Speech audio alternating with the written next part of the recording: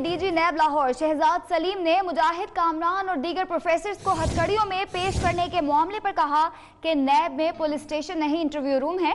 आने वाले मेहमान को चाय, बिस्किट, कहवा भी पेश किया जाता है। सबको खुश आमदीद कहा जाता है, सिर्फ़ हार पहनाने की कसर रह गई है।